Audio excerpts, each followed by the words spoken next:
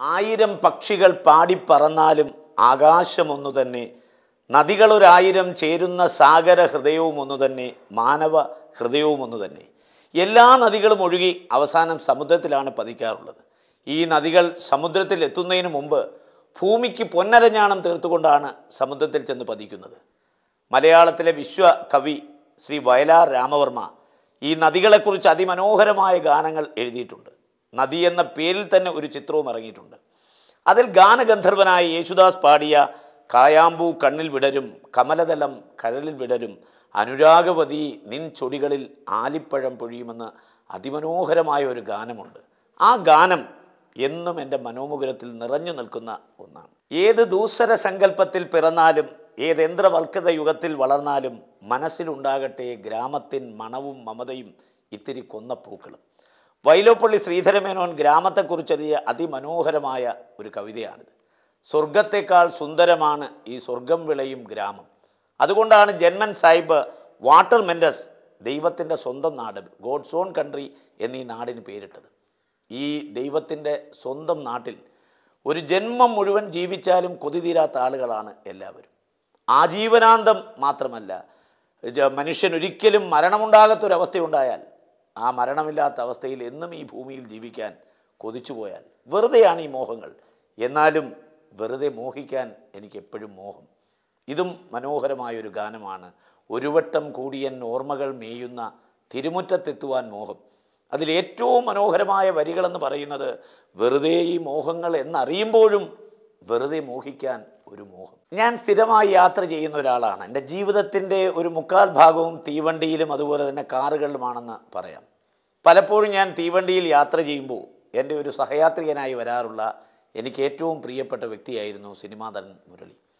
അദ്ദേഹം തീവണ്ടിയിൽ വന്നു കഴിഞ്ഞാൽ എന്റെ യാത്ര പലപ്പോഴും ധന്യമാകാറുണ്ട്.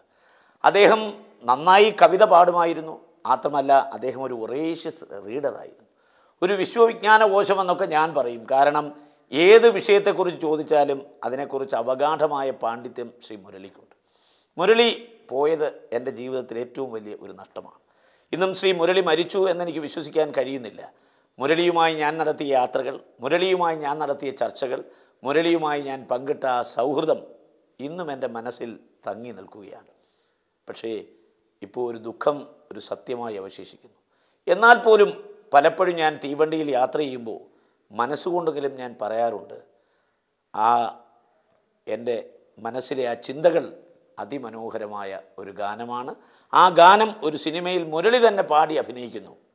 അരികിൽ നീ ഉണ്ടായിരുന്നെങ്കിൽ എന്ന് ഞാൻ ഒരു മാത്ര വെറുതെ നനച്ചുപോയി. മലയാള സാഹിത്യത്തിലെ പ്രശസ്തമായ നോവലാണ് തകഴിയുടെ ചെമ്മീൻ. ആ ചെമ്മീൻ അഭ്രപാളികളിലേക്ക് പകർത്തിയത് ശ്രീ രാമു കാര്യറ്റാണ്. മലയാള സിനിമയ്ക്ക് ആദ്യമായി ദേശീയ തലത്തിലൊരു പുരസ്കാരം നേടിക്കൊടുത്ത ചിത്രവും ചെമ്മീനാണ്. അതിലെ പരീക്കുട്ടിയും അതിലെ കറുത്തമ്മയും അതിലെ ചമ്പൻകുഞ്ഞും ഇന്നും ജനഹൃദയങ്ങളിൽ തങ്ങി നിൽക്കുന്ന കഥാപാത്രങ്ങളാണ്. കടലിലെ ഓളവും കരളിലെ മോഹവും ഒരിക്കലും ഒടുങ്ങിയില്ലെന്നാണ് പറയുന്നത്. കടലിനൊരു സത്യമുണ്ട്. ആ സത്യമാണ് ആ ചിത്രത്തിലെ ഇതിവൃത്തം. ആ ഇതിവൃത്തം അതിമനോഹരമായ ഒരു ഗാനത്തിലൂടെ ജനഹൃദയങ്ങളിൽ എത്തിക്കുന്നുണ്ട്. ആ ഗാനമാണ് പെണ്ണാളെ പെണ്ണാളെ എന്ന് പറയുന്നത്. ആ ചെമ്മീൻ എന്ന് പറയുന്ന സിനിമയുടെ കഥാസാരം മുഴുവൻ ആ ഗാനത്തിൽ ഒപ്പിയെടുത്തിരിക്കുന്നു എന്നുള്ളതാണ്. ആ ഗാനം കേട്ട് കഴിഞ്ഞാൽ ആ സിനിമ കാണാതെ കഴിച്ചു കൂട്ടാം. അത്ര അർത്ഥഗർഭമായ വരികളാണ് അതിനകത്തുള്ളത്.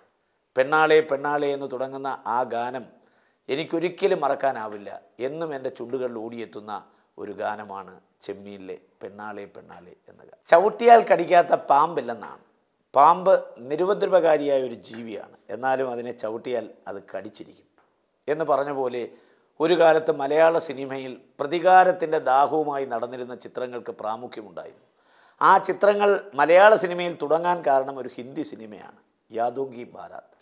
ആ യാദോങ്കി ബാരാത്തിൽ ഒരുപാട് ഗാനങ്ങളുണ്ട്. ആ ഗാനങ്ങളെല്ലാം ഇന്നും കാലഘട്ടത്തിനനുസരിച്ച് ആളുകളുടെ ചുണ്ടുകൾ നിറഞ്ഞു നിൽക്കുന്ന ഗാനങ്ങളാണ്. ഒരു മാറ്റവുമില്ല. ഇത്ര മാധുര്യമുള്ള ഗാനങ്ങൾ ഹിന്ദി സിനിമയിൽ ഞാൻ ഒരിക്കലും കേട്ടിട്ടില്ല. യാദോങ്കി ബാറാത്തിലെ എല്ലാ ഗാനങ്ങളും ഹൃദ്യമാണെങ്കിലും ചുരാലിയാഹേ തുമ്നെ ജോ ദിൽക്കോ ആ ഗാനം എല്ലാ ദില്ലുകളിലും നിറഞ്ഞു നിൽക്കും.